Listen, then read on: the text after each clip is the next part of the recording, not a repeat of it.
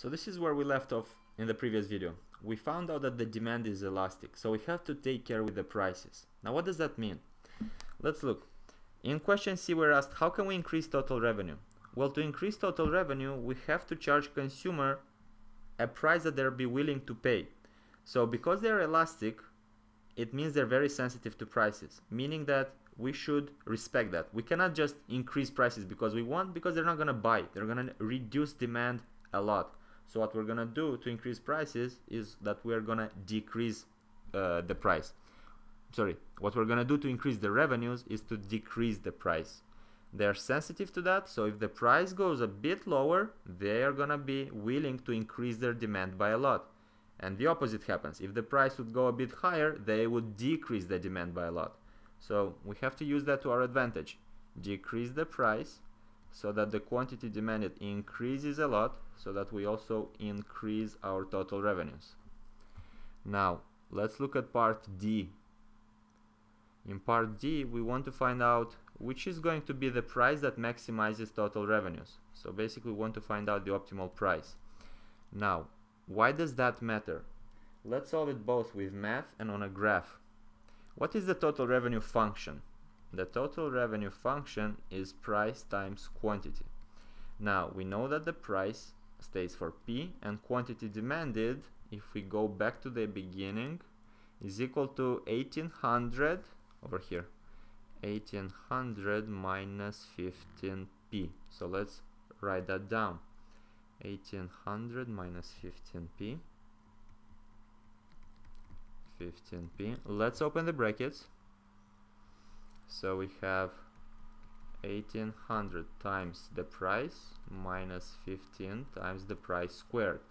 And let's write it as minus 15 price squared plus 1800 times the price. And the reason, the reason I suggest we write it with the minus 15 times price squared initially is to see that we're having here a quadratic equation, meaning that on a graph that would look like a parabola. So how would that look like a parabola if we write total revenue as a function of price? Total revenue as a function of price. A, a parabola with a negative coefficient would look something like this. Let's say, uh, let's say from here, for example. What does that mean? That means that we have a peak of the total revenues meaning we can reach to a maximum amount that we want. And that happens at the maximum at the maximizing price. This would be the total revenue. At that peak we can see that the slope is flat. What does that mean? That means that the derivative of the total revenue with respect to price must be equal to zero. And what's the intuition here? Why would we have such a graph overall? Because look there is a certain range, a certain elasticity over which we can charge the price, we can increase the price to a point where people are still buying, people are still consuming, so our total revenues would still go up.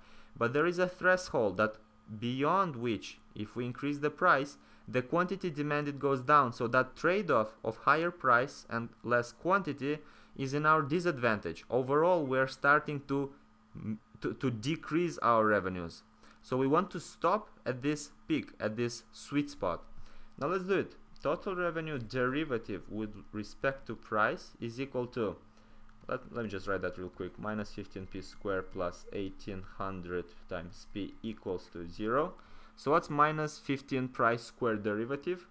That's just minus 15 times 2 price times 2 times price plus, and here we just have the constant 1800 equals to 0. Let's take minus 15 times 2. That's minus 30 price. Minus 30 price plus 1800 equals to 0. Let's take minus 30 price to the other side. So we would have 1800 equals to 30 times the price. So the price, the optimal price for us would be 1800 divided by 30, which is equal to uh, 60 euros. So if we charge 60 euros, we are going to maximize our revenues. Hope this makes sense. We are done.